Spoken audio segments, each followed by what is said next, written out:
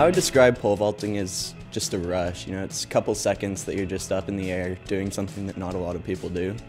So that's what I love about it. It's just something different that not a lot of people do. Pole vaulting is pretty difficult because it's really repetitive and it's hard to get each stage perfectly every single time. It's more built for a robot because it's over and over the exact same thing and it's hard to repeat that as humans.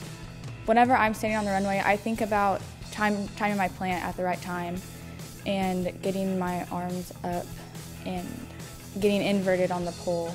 I'd say that it's just that mental game, you know. There's so many things that you can think about that can just throw you off and, you know, if you think about one thing too much, you might mess it up or just the technicality of it, it's just so difficult and there's so many things that go into it. Um, when I first started pole vaulting, it was a little, it was a, a little bit hard just because I'd never done anything like it. I came out of gymnastics. And so pole vaulting was a completely different aspect and it was really fun, but it was really hard. And the more you practice at it, the better you get. I started pole vaulting through my family. Uh, my grandpa started uh, whenever he was in high school and stuff. And then my dad and uncle both pole vaulted.